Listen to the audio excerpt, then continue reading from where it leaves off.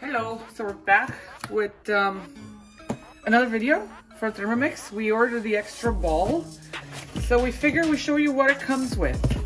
All right, so this is the box. All right. So the bowl itself, the TM6 bowl that is, blade, everything with it. Um, comes with an extra whisk.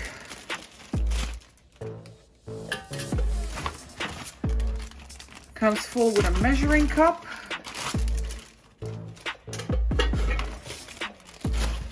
A splash guard.